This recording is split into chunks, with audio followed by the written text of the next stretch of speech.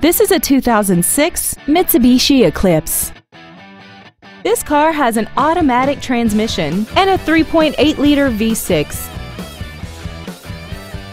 Features include a multi-link rear suspension, air conditioning, a leather-wrapped shift knob, tinted glass, rear impact crumple zones, traction control, side impact airbags, and this vehicle has less than 59,000 miles.